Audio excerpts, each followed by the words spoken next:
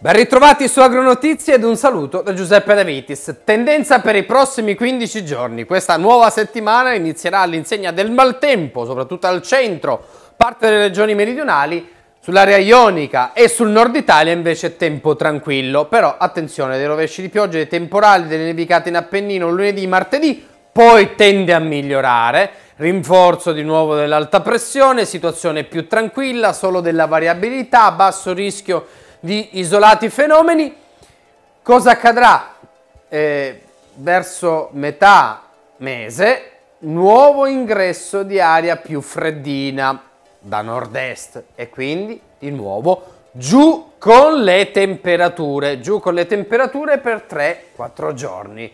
Quindi dopo questa fase movimentata ci sarà una fase più tranquilla e poi di nuovo il ritorno di un po' di freddo da est.